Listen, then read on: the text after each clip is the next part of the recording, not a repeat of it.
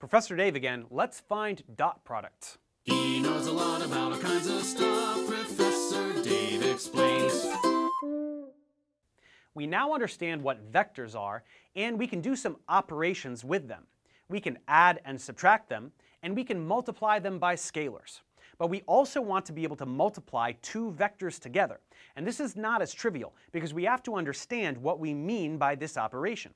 There are actually two different ways that we can multiply two vectors. And the first kind of multiplication will give us something called the dot product. Let's learn how to perform this operation. The dot product is fairly intuitive. If we have some vector a with components a1, a2, and a3, and another vector b with components b1, b2, and b3, then its dot product will be denoted this way as a dot b.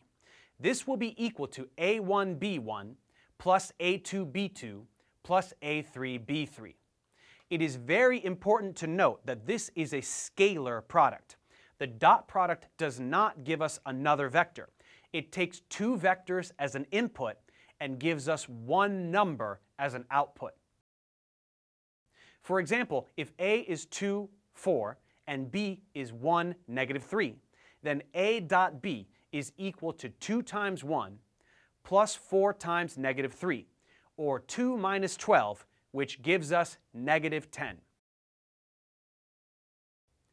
Because the dot product involves simple multiplication, it has very intuitive properties. A dot B equals B dot A, because it doesn't matter what order in which numbers are multiplied. The distributive property also holds, and A dot the sum of B and C, or A dot the vector that results from adding B and C, is the same as A dot B plus A dot C.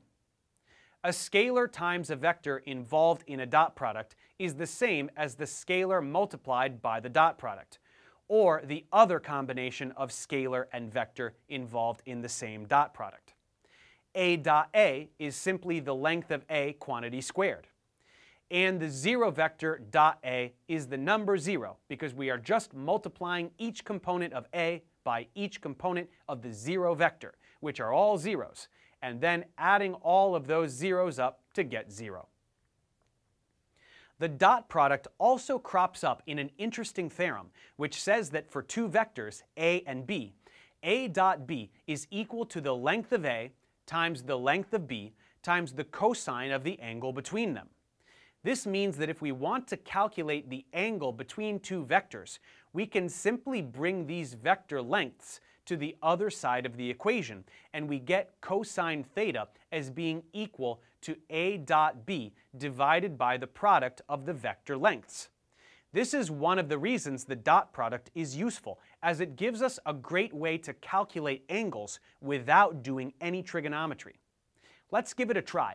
What is the angle between vector A with components 2, 2, negative 1, and vector B with components 5, negative 3, 2? Well, first, let's find the length of each vector. For a, that's 2 squared plus 2 squared plus negative 1 squared, all under a square root. We simplify to get 9 and then take the square root to get 3. For b, we get 5 squared plus negative 3 squared plus 2 squared under the square root. We simplify to get 38, and we can just leave this as root 38. Now let's perform the dot product. Multiplying the corresponding components, we get 2 times 5 plus 2 times negative 3 plus negative 1 times 2. That's 10 minus 6 minus 2, or 2. So plugging everything in, we get 2 on the top and then 3 times root 38. That is equal to the cosine of the angle between the vectors. To solve for the angle, we just take the inverse cosine, and since this is a pretty ugly number, we just plug it into a calculator to get some decimal and press the inverse cosine button. That gives us around 1.46 radians, which is about 84 degrees.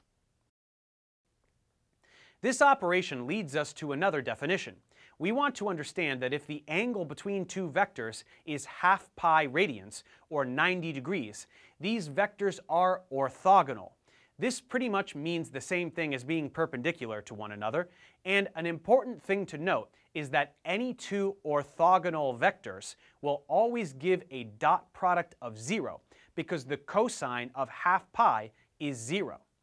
This means that if you are computing a dot product and you get zero, those two vectors are orthogonal. So that's what we need to know about vector dot products, which represent one way that vectors can be multiplied.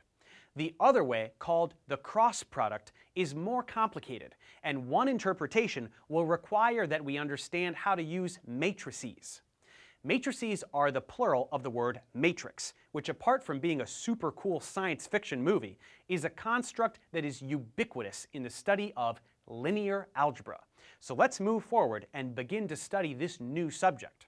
But before doing so, let's check comprehension.